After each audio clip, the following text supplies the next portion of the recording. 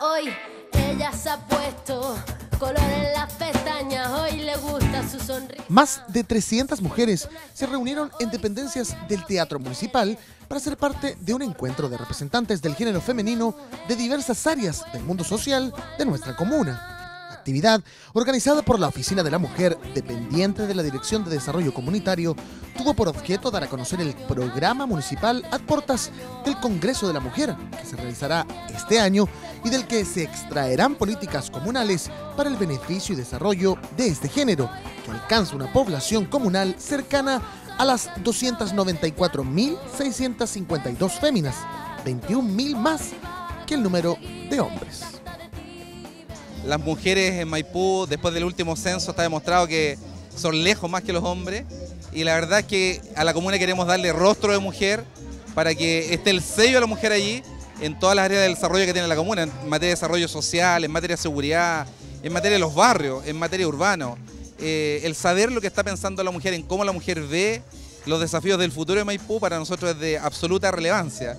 Y por eso es que esta invitación es para ella, para que las mujeres se multipliquen en, esta, en este estado de congreso que nosotros hemos denominado. A usted la mujer es la que lidera y finalmente la que canaliza la invitación que hace nuestro alcalde, esta construcción de una política local de mujer, con sello mujer. Nosotros con el alcalde conversamos y nos dábamos cuenta de un tremendo desafío que teníamos. Teníamos que desarrollar un trabajo que diera cuenta de la necesidad de la mujer de la comuna de Maipú, proyectarla al futuro, como una comuna que crece y donde la mayor parte de su población son de mujeres, pero tiene un problema. Él era hombre yo era hombre.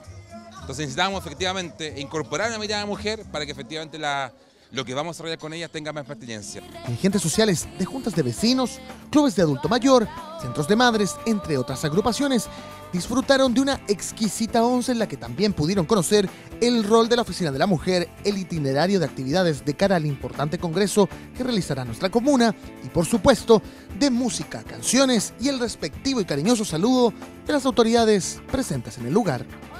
Lo que más anhelamos nosotros es que eh, se preocupen de nosotras. Tenemos muchas necesidades para sacar adelante la casa también juntamente con el esposo. Nosotros tenemos varias necesidades y que nos escuchen es lo mejor que nos puede pasar. Es un buen, es un buen inicio. Es que no se había hecho. Eh, es muy bueno el programa que tiene el, el alcalde. Excelente. Ojalá que se cumpla todo lo que lo que él está planteando. O sea, por eso necesitamos apoyarnos también. El municipio, liderado por el alcalde Cristian Vittori, declaró estado de congreso en nuestra comuna, lo que implica la realización de encuestas y talleres que darán paso a una convención ciudadana y finalmente al cabildo ciudadano de aprobación, concretando durante este año el esperado e inédito Congreso de la Mujer, iniciativa que hará de Maipú una ciudad feliz con rostro de mujer.